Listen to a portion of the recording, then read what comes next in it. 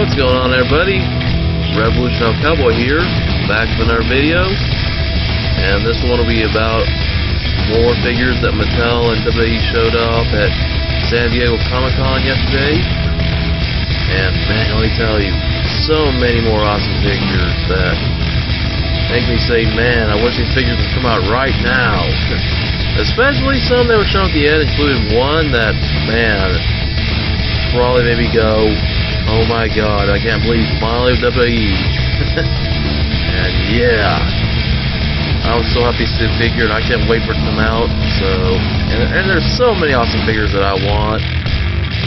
A few that maybe I don't care for as much, but man, they showed so many that were so awesome and I can't wait for them to be released.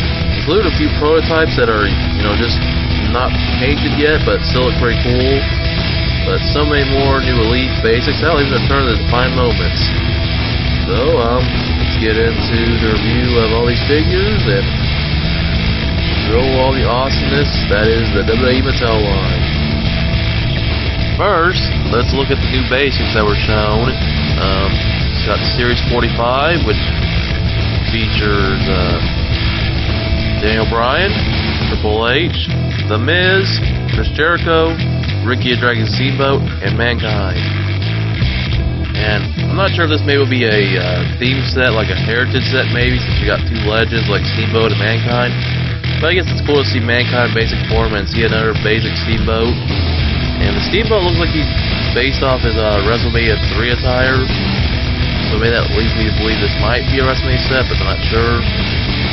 The Miz looks alright, but I'd probably skip him. I don't care too much for the Triple H figure because we've got that same short hair Triple H over and over. And Chris Jericho's alright, I guess the red shrugs. I don't know if I'd pick it up or not. I mean, I'm a Jericho fan, but I don't know. But Daniel Bryan looks okay and does the same as his base 41 leads when it comes to the head scan. But other than that, I think I like Mankind Steamboat figures the best in this line. Now we're going to look at some Elites. This is Series 32 It features Daniel Bryan, Sin Cara, Mark Henry, Big E, Cody Rhodes, and Rey Mysterio. Now, Daniel Bryan looks pretty cool. He's got that, you know, the coveralls look that he wore briefly when he was with the Wyatt family, and they're fabric, and he can remove them, so that's pretty cool. So he'll have his normal wrestling attire under them. Then there's Sin Cara, who's got this red and green look for Mexico, and he comes with the same removable, you know, trench coat vest. So really nothing different. All the big difference will be in the Hunico Sin Cara because they'll have the tattoo. Now the Mark Henry, because of a breakaway table, and he will have the bald head, so no need to, you know, take off the base if you want to put on your elite. You will get an elite bald Mark Henry. Big E's just wearing a white singlet. It comes with the new with the uh, current Intercontinental title. Cody Rhodes wears a vest and have a white, you know, Cody Rhodes Goldust shirt, so I don't know why they decided to include that one with the Goldust when they're going to include Cody Rhodes anyway. At least I think that's what I see in the picture, so I don't know. And finally, the Flashback Rey Mysterio, you know, is from his WCW days, wearing black and white with a little bit of pink in it, and it comes with the Cruiserweight Championship. Now, the note here is the WWE Cruiserweight Championship, not the WWE version.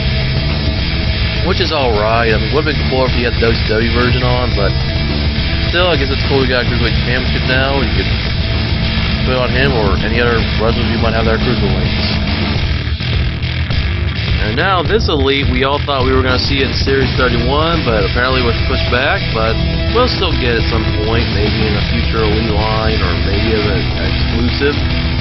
This is the debut attire of Rocky Maivia, forward to the Rock.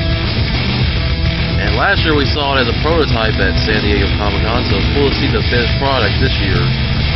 With that crazy curly hairstyle he had, his tribal gear, and then the blue trunks with blue elbow pads, wristbands, blue knee pads. So before there was a blue T-stud, there was a, oh, god, I don't know it, the Rock. Blue Rock. no, but otherwise, uh, yeah, this is a pretty nice figure. And even though it'll be a while before we get it, I cannot wait for it, and I'll make sure to have it in my collection because I collect any and all figures of The Rock. Now let's look at the pictures they showed at the panel at San Diego Comic Con. And they're just showing off some more basics. El Torito's already out, so I'm not going to talk much about him. I mentioned Eva Marie in my last video. And then I already just talked about uh, Ricky Drag Steamboat and Mankind earlier. But we're also going to get a basic Jerry King Lawler, which that's pretty cool, and it's current. The last time we got Lawler was in Elite 18, and I guess it was a slightly current figure, but looked, it was more of a flashback because it's, I don't know, just the way the head scan looked. It looked like a younger Lawler. This one looks more like a current Lawler. He even has a molded on t-shirt. And it's good he's a basic, not a build-a-figure, because that, that was a rumor he was going to be a build-figure set, but it's like Mattel decided, I'd just pick a basic, so that'd be, that'd be cool and make it a, a slight bit easier to get. Now this base looks pretty cool. It's none other than the Bulgarian Brute and the hero of the Russian Federation, Rusev. It looks pretty nice. Nice head scan. The body type looks good. Chest hair. And the trunks. I mean, everything looks good about this figure, so whenever this figure comes out, it'll be a definitely a figure we'll all be looking forward to having in our collections. I know I'll be looking forward to it. And Grimm's custom won't, you know, watch Grimm's Toy Show, obviously he won't need that custom anymore when he gets the real Rusev. Then they showed off some basic prototypes. We got Ambrose, Bo Dallas, Lana, and it looks like they'll be doing an NXT line with Sami Zayn as the first figure. And um, I'm looking forward to most of these figures, Ambrose, Bo Dallas, and Lana. Sami Zayn, I'll, I'll probably get anyway, though I don't watch NXT right now because I don't have the WWE network. I know I need to get it. But I am familiar with Sami Zayn. He was formerly El Generico in Ring of Honor and all over the independents. But still, I'll collect all these figures anyway, so hey, you know, we'll start to see more NXT guys pretty soon, and that's pretty awesome. Then more battle packs were shown off. I already mentioned the John Cena Ultimate Warrior battle pack in my previous build, but I guess their accessory will be an American flag. Makes sense with Ultimate Warrior and the patriotic attire. Now there will be another Usos battle pack, and they will have their current tattoos. So obviously, uh, from what I remember, Jimmy's the one with a little bit less tattoos and Jay has a little more, so at least they'll be a little bit easier to tell apart. Just a little bit. And their accessories will be crutches. Now here's two more pretty cool battle packs. The first one is Daniel Bryan and Triple H. Daniel Bryan has that head scan from the uh, Kane Build-A-Figure set. And Triple H will actually be in a suit, which makes more sense nowadays because we don't see him wrestle a whole lot. And they will come with a set of handcuffs. Then we have a current version of New Age Outlaws of Billy Gunn Road Dogg. And I'll come with two microphones. That's pretty cool. I've been waiting for them to make a current version. Too bad they won't go with the tag team titles, but hey, you know, it's still cool. And I'll be definitely looking forward to getting that battle pack along with the Triple H and Dan Bryan one. Now we got some battle pack prototypes. And these are kind of like fantasy matchups. Even though one of them I don't really consider a fantasy matchup and that one's Shawn Michaels versus Undertaker. Now, it's supposed to be Shawn Michaels from 1997 versus Undertaker from now. And I don't know, I can't really consider that a fantasy matchup since they wrestle each other many times, like about three or so. Included two back-to-back matches at WrestleMania 25 and 26, where Shawn Michaels actually ended up retired because he lost to Taker. But still, I guess it's an alright battle pack. Now, the other one is the Big Show as he currently is versus Andre Giant. And Andre Giant has button chops in his version. so CM Punk's not the first one to rock in the WWE. And also, since it's the first Andre Basic, it's going to still be probably a heavy figure, especially when you have him and Big Show in the package. So when you pick this figure up in retail, you will be picking up one heavy figure. Our heavy figures. But still, definitely a battle pack I'm looking forward to. And the HBK Taker one is alright as well. Now let's look at some elites. Looks like we're probably gonna get our blue Tista we've been wishing for. Which looks alright. And he's got the beard and hair like we had. And unlike the uh, Elite 30 Batista, this one will come with accessories. So, hmm, this one has about the same amount of tattoos. Yeah, obviously some are covered up thanks to the blue elbow wristbands he's wearing, whatever you call those. But he's gonna have accessories. He'll have like a denim shirt, a pair of sunglasses, and a hat.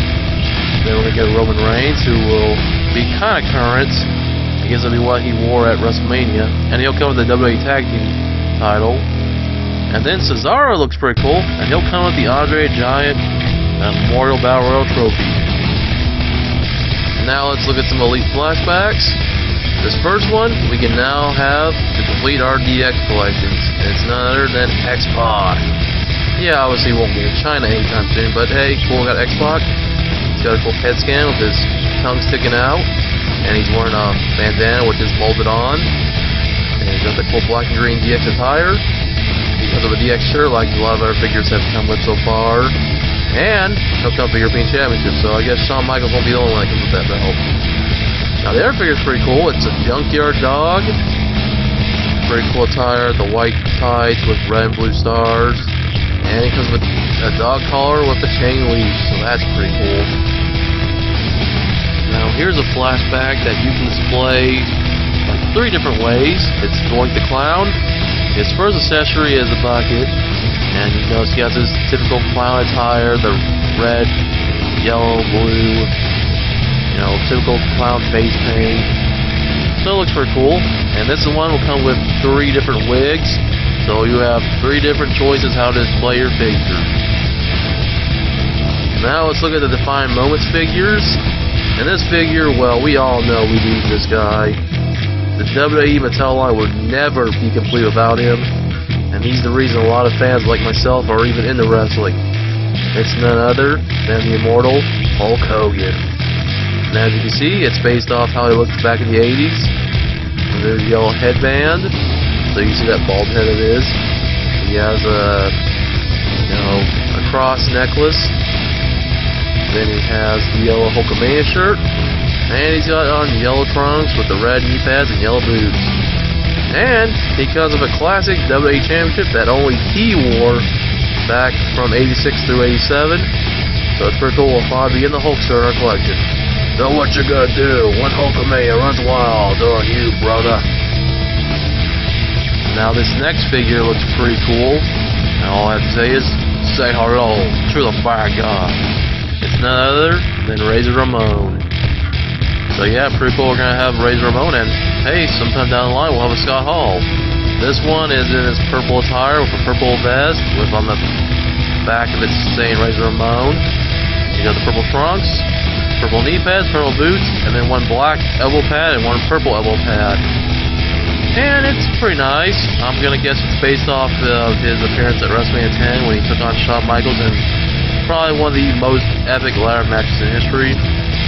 And hey, you know, we'll probably get more Razor figures pretty soon. Maybe we'll see maybe some battle packs. I mean, obviously the sky's the limit what we can see with this guy.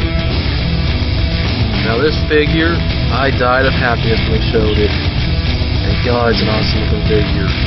Especially when the man himself came out to talk about it. Making his first appearance in any WWE function. It's none other than the man they call Sting. And man, is this an awesome figure.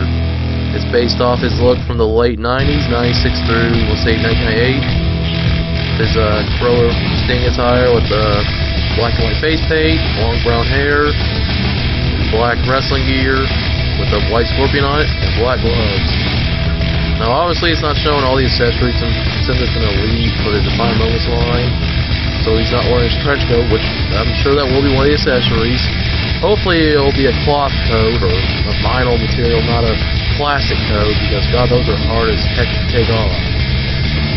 And obviously, he'll come with his signature back, because Sting doesn't go anywhere without it.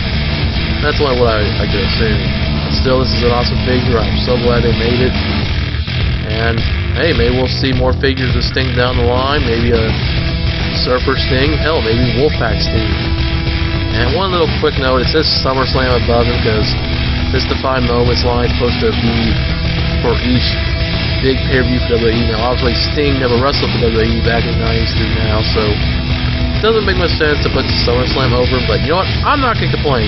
We're getting a Sting figure, so they can put whatever WrestleMania or They can put Royal Rumble, or hell, they can put an ECW pay-per-view over them for all I care. I'm just glad we're getting a Sting. Alright, there you guys go. I believe that is it for everything that Mattel has to show for all the new WWE figures that will be coming out later this year and then next year.